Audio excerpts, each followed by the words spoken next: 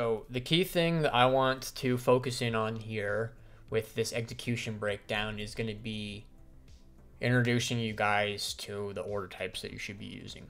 So the gist of this is that like we need to start paying attention to how we get in and out of our trades and the really simple way to start this off is to just say stop being lazy and impatient and using market orders all the time. You need to start when you're doing lower time frame trading. So there's a, there's a key difference between with whether you're scalping or intraday trading. Where with your intraday trading, you actually have to have a thesis that you're trading around, and when you're scalping, you realistically don't have to. Um, but what I want to introduce you guys to is the idea of chasing effectively. So when you want to bet on price going in a direction, stop crossing the spread all the time and marketing in when you could just use chase orders. So every platform has different things that they call it. The most common name is going to be best bid and best ask. So I don't care where you trade on what platform. I guess what I should have prefaced this by saying is also stop clicking clicking buttons on an exchange to begin with, right? Start using an interface, an API interface, a program or something. It's going to give you access to better execution. So from there, you're looking to start using chase orders. When we're doing lower time frame trading, you're uh, pretty much every exchange your passive orders are going to have less than 50% of the fees uh, compared to market ordering. And on top of that, you're not getting slipped by eating the spread because even when the spread's tight, it's still going to be a basis point or two probably. Especially on your shitcoins, it's going to be several basis points potentially. Um, if we're talking about shitcoins on FTX, right, you're you're getting raped on that spread when you market your order. So most of my advice is really not going to be too applicable to FTX because yeah, I mean, you guys already all know the meme, so I don't even need to say it. But um, on the more liquid exchanges, you can really, you you really can save so much money on executing properly, and this really will be the difference between you making money on that 0.5% move on Bitcoin versus not. When we add the when we add this up over time, start using passive orders to enter and to exit and market orders should only be for mistakes. Okay? I need to get out of this immediately because I've already made a mistake. I need to get in this immediately because I made a mistake. Whatever it may be, right? Market order, like when, when I'm actively trading right now um, on my scalp account, I would say less than 5% of my trades are market orders, and they're pretty much only when I'm doing mistakes. Um, on top of the, this, that when we use passive orders, it's not just about the fees and stuff, guys. It's not just about the, the it's not just about the money. It's also about getting better entries, right? Because if you do like best, if you do like chase orders, it's not going to help that much because, right, if like, you know, price is 50 cents and you get in at 49 cents, it's not going to make that big of a difference. But you don't have to always chase when you do passive orders, right? You can, let's find a, a shitty example. Okay. Now this is a five minute chart, but let's imagine that this is like a 15 second chart or like this is like a tick chart. So this is like super fast and super volatile. And we just bounced off bounced off some sort of low and I want to get long fills to take take it back up to wherever I think it's going to go, okay? In this theoretical situation, let's pretend in the order flow I just saw tons of shorts get clapped and tons of longs get clapped and it's pretty obvious um, what's going to happen is that we're probably going to come back and test the weak shorts that are now trapped. So rather than your, your two options for uh, filling are right are literally filling right at the uh, at the best bid right. But instead of doing that, you can just be patient and wait for price to do this and fill you. Now,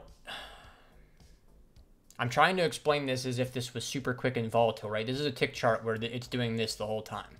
It's not, this isn't a five minute chart. This is a tick chart for this use of this purpose. So you're just you're clicking in orders and you're waiting for it to come back to you.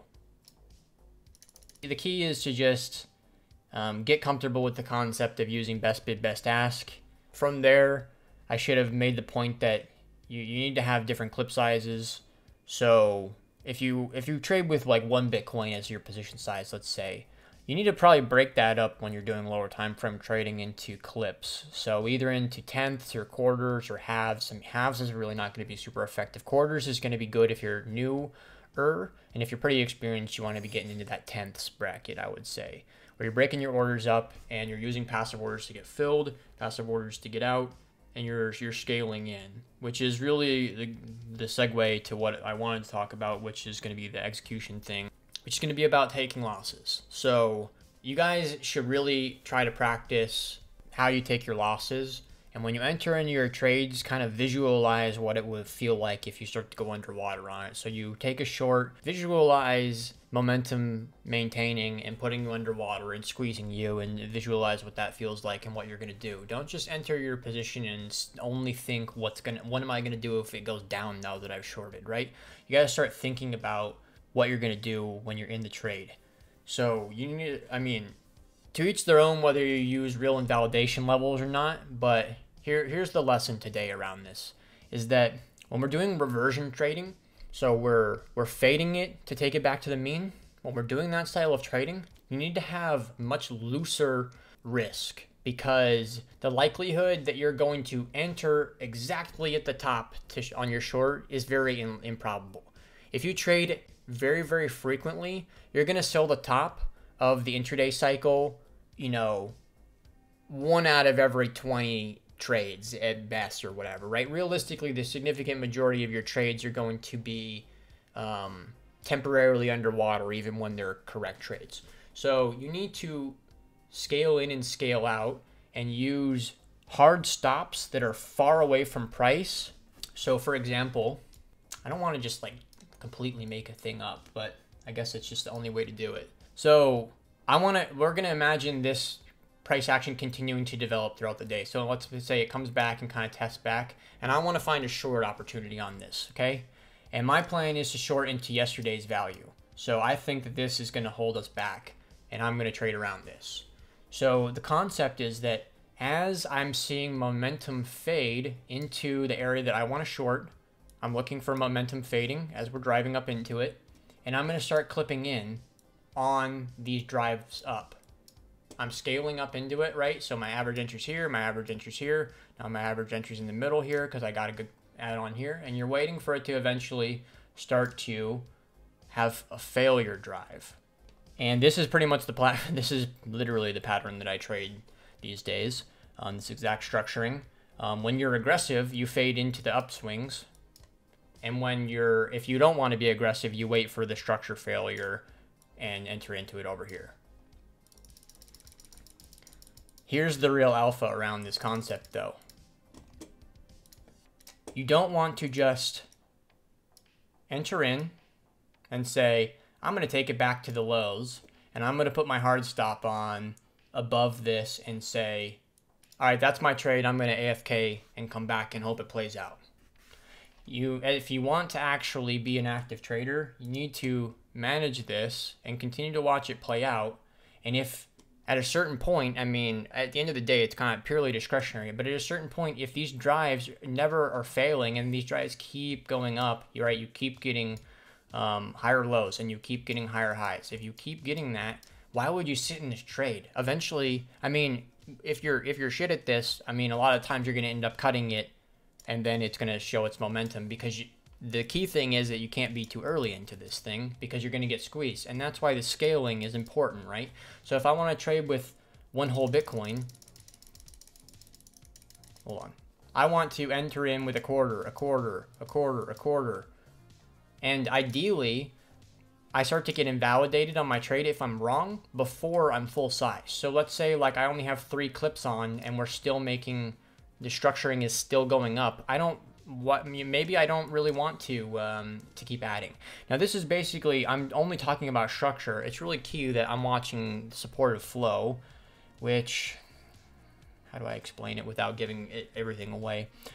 I want to see the side that's pushing price in my favor are pushing price up, I want to see them making mistakes. I want to see the bullish side making mistakes. And if I see the bullish side making mistakes on these drives, I can be confident. If I see that when if I see that we put we push up I mean our, our pull down here, if I see heavy, heavy selling right here, and then we start to trade back above it? Is that what I want to see? If I am shorting, if I'm in a short right now and we get a down tick and I go I, I go above water for the first time the whole time, and there's a massive heavy uh, you know negative delta node that comes in here and then we start to trade back above it again, is this what I want to see necessarily? No, I don't. Right? I, because what what's that telling me? If I see heavy heavy selling and then we start trading back through it, that's telling me that the bid, the passive bid, is moving up and is willing to buy up here. They were willing to buy here. They were willing to buy here. Now they're moving it up to here. Okay.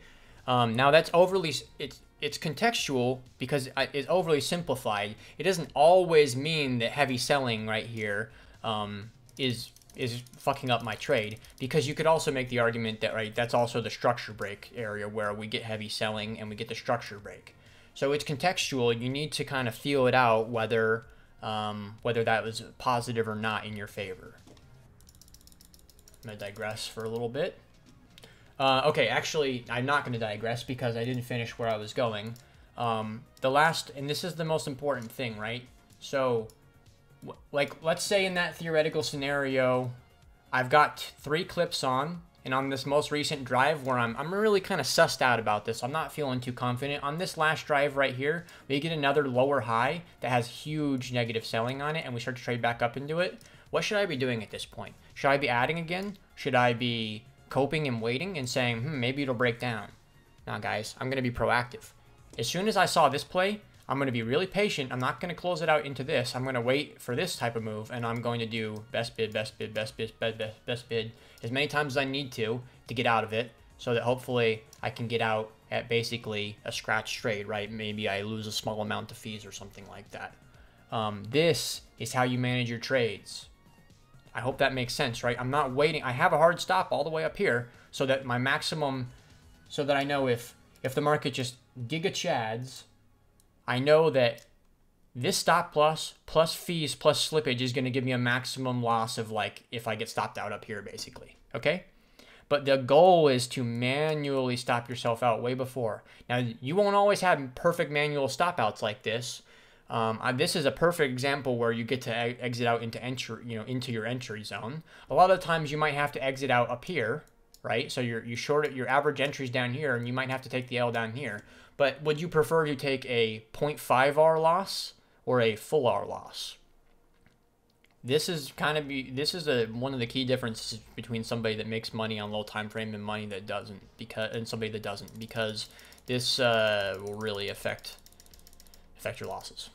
Um, now, just to make sure that I'm not selling you sunshine and rainbows, the flip side to this is if you're too much of a pussy, um, you will close out too, too many trades before they are actually invalidated, and you'll lose money to fees and to scratches and stuff. So you need to really have confidence that you have a good read on up or down.